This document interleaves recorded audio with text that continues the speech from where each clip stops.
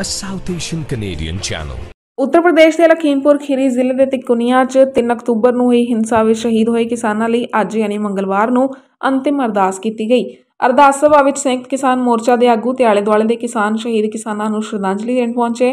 ਜਿਸ ਥਾਂ ਤੇ ਹਿੰਸਾ ਹੋਈ ਸੀ, ਉਸ ਦੇ ਨੇੜੇ ਹੀ ਅੰਤਿਮ ਅਰਦਾਸ ਦਾ ਆਯੋਜਨ ਕੀਤਾ ਗਿਆ। ਅੰਤਿਮ ਅਰਦਾਸ 'ਚ ਕਿਸਾਨ ਆਗੂ ਰਾਕੇਸ਼ ਟਿਕੈਤ ਵੀ ਪਹੁੰਚੇ। ਇਸ ਹਿੰਸਾ 'ਚ ਚਾਰ ਕਿਸਾਨ ਵਿਰੋਧ ਪ੍ਰਦਰਸ਼ਨ ਦੌਰਾਨ ਕੁਚਲੇ ਗਏ ਸਨ, ਜਿਨ੍ਹਾਂ ਦੀ ਅੰਤਿਮ ਅਰਦਾਸ ਵਿੱਚ ਸ਼ਾਮਿਲ ਹੋਣ ਲਈ ਵੱਖ-ਵੱਖ ਸੂਬਿਆਂ ਦੇ ਕਿਸਾਨ ਪਹੁੰਚਣ ਲੱਗੇ। ਸਮੂਹਿਕ ਅੰਤਿਮ ਅਰਦਾਸ ਵਿੱਚ ਉੱਤਰ ਪ੍ਰਦੇਸ਼ ਦੇ ਵੱਖ-ਵੱਖ ਜ਼ਿਲ੍ਹਿਆਂ ਤੋਂ ਇਲਾਵਾ ਪੰਜਾਬ, ਹਰਿਆਣਾ, ਉੱਤਰਾਖੰਡ ਦੇ ਕਿਸਾਨਾਂ ਦੇ ਸ਼ਾਮਿਲ ਹੋਣ ਦੀ ਵੀ ਉਮੀਦ ਰਹੀ।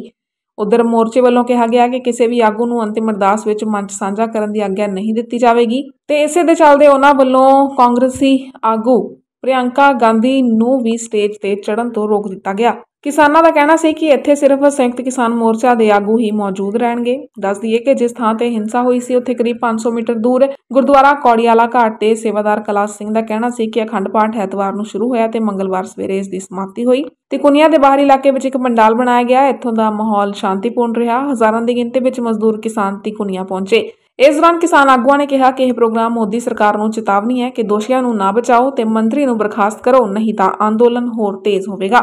ਉਹਨੂੰ ਫੜ ਕੇ ਬਰਾਬਰ ਜੇਲ੍ਹ ਦੇ ਵਿੱਚ ਪੁੰਨਿਆ ਜਾਵੇ। ਅਸੀਂ ਦੇਖ ਇਸੇ ਕਰਕੇ ਤਾਂ ਅਸੀਂ ਕਹਿੰਦੇ ਭਾਈ ਕਿ ਇਹ ਕਾਲ ਪੂਰੇ ਦੀ ਸਰਕਾਰ ਹੈ। ਇਹ ਬੜੇ ਸਰਮਾਏਦਾਰ ਦੀ ਸਰਕਾਰ ਪੂੰਜੀਪਤੀਆਂ ਦੀ ਸਰਕਾਰ ਹੈ। ਇਹ ਸਰਕਾਰ ਤੁਹਾਡੀ ਕਦੇ ਬਣ ਨਹੀਂ ਸਕਦੀ। ਇਹਨੇ ਉਹਦੇ ਹਿੱਤ ਪੂਰਨ ਵਾਸਤੇ ਇਹ ਜਿਹੇ ਕਾਨੂੰਨ ਬਣਾਉਣੇ ਨੇ। ਉਹ ਕਾਨੂੰਨਾਂ ਨੂੰ ਲਾਗੂ ਕਰਨ ਦੀ ਖਾਤਰ ਤੁਹਾਡੇ ਜਬਰ ਕਰਕੇ ਤੁਹਾਨੂੰ ਡਰਾਉਣਾ ਤੁਸੀਂ ਘਰਾਂ ਦੇ ਵਿੱਚੋਂ ਬਾਹਰ ਨਾ ਅੱਜ ਵੀ ਜਾ ਕੇ ਕੀ ਹੈ ਕੱਲ ਸ਼ਾਮ ਨੂੰ? ਜਦੋਂ ਅਸੀਂ ਇਸ ਖੇਤੇ ਦੇ ਵਿੱਚੋਂ ਦੀ ਨਿਕਲਿਆ ਪਤਾ ਲੱਗਾ ਵੀ ਇੱਕ ਬੜਾ ਸਾਹਿਬ ਘੜੀ ਜਾਵੇ ਘਰਾਂ ਚ ਹੈ। ਕਿ ਜੇ ਕੋਈ ਤੁਹਾਡੇ ਗਿਆ ਖਬਰਦਾਰ ਹੋ ਜਾਓ। ਘਰਾਂ ਦੇ ਵਿੱਚੋਂ ਜਬਰੀ ਨੱਪ ਕੇ ਕਿਹਾ ਵੀ ਘਰਾਂ ਦੇ ਵਿੱਚੋਂ ਬਾਹਰ ਨਹੀਂ ਜਾਣ ਦੇਣਾ। ਤੇ ਤੁਹਾਡੇ ਰਿਸ਼ਤਾ ਜਾਇਆ ਤੇ ਤੈਨੂੰ ਹਿੰਦੂ ਸਿੱਖਾਂ ਦਾ ਪੱਤਾ ਬਣਾਉਣ ਦੀ ਕੋਸ਼ਿਸ਼ ਕਰ ਰਹੇ ਹੋ।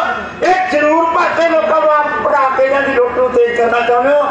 ਇਹ ਅੰਦੋਲਨਾਂ ਨੂੰ ਫੇਰ ਕਰ ਜਾਣਾ ਇਹ ਮਨਸੂਬੇ ਤੁਹਾਡੇ ਕਾਮਯਾਬ ਨਹੀਂ ਹੋਣ ਦੇਵਾਂਗੇ ਆ ਰਹੀਆਂ ਨੇ ਬੜੀਆਂ ਬੜੀਆਂ ਪੂੰਜੀਪਤ ਕੰਪਨੀਆਂ ਤੁਹਾਡੇ ਨੂੰ ਲਗਾਉਣ ਖਾਤਰ ਆ ਖੇਤਾਂ ਦੇ ਵਿੱਚ ਬੜੀਆਂ ਫਸਲਾਂ ਦਾ ਦੇਖ ਕੇ ਦੁੱਖ ਹੋਇਆ ਆ ਝੋਨੇ ਜਦੋਂ ਅਸੀਂ ਦੇਖੇ ਨੇ ਕੱਢੂ ਹਟਾਣੇ ਪੈਸੇ ਚੌਲ ਦੇਖੇ ਨੇ ਆ ਚੌਲ ਨੇ ਜਿਹੜੇ ਭਾਈ ਇਹ 940 ਰੁਪਈਆ ਨੂੰ ਵੇਚ ਕੇ ਆਇਆ 940 ਨੂੰ ਜਿਹਦੀ ਕੀਮਤ 1940 ਰੁਪਏ ਹੈ ਇੱਥੇ ਮੰਡੀ ਨਹੀਂ ਹੈ ਤੇ ਤੁਸੀਂ ਕਿ ਐਮਐਸਪੀ ਹੈ ਐਮਐਸਪੀ रहेगी एमएसपी थी कहा है एमएसपी कितना है पे एमएसपी कितना सरकारी खरीद आज सारे का सारा ਝੋਨਾ 900 1000 1100 1200 ਨੂੰ ਜਾਣਾ ਤੇ ਤੇਰਾ ਦੇ ਹੱਕਾਂ ਜਾਣਾ ਉਹਨਾਂ ਦੇ ਹੱਕਾਂ ਦੀ ਰਾਖੀ ਕਰਨ ਦੀ ਖਾਤਰ ਤੁਸੀਂ ਲੜ ਰਹੇ ਹੋ ਤੁਸੀਂ ਸਾਡਿਆਂ ਨੂੰ ਮਾਰ ਰਹੇ ਹੋ ਮਾਰ ਕੇ ਦਹਿਸ਼ਤ ਪੈਦਾ